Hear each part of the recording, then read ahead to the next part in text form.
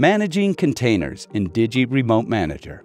Digi Remote Manager enables deployment of custom applications via containers. In this video, we'll review how to upload your container and how to edit the settings of the container within Digi Remote Manager.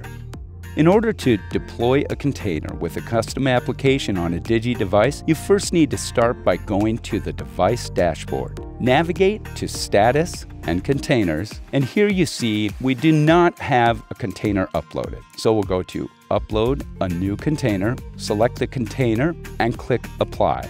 This will upload that container. Once we have uploaded that container, we'll want to make some configurations to that container. Clicking on the wrench within the container, we can enable it, clone the DAL operating system, add a virtual network, have it start on boot, and give it optional parameters, including access to specific directories and access to the onboard serial port. Now we have the container uploaded and scheduled to start on boot, so let's go ahead, and click apply so that we can view the status of that container. So within Digi Remote Manager, go to Containers,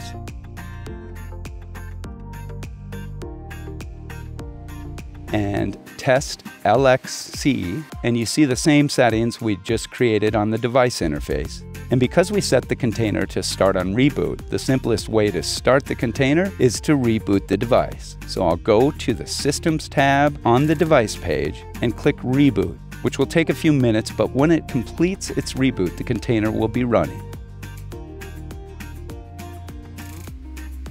So now we can log back into the device and go to Status and Containers. And there you go, our container is running.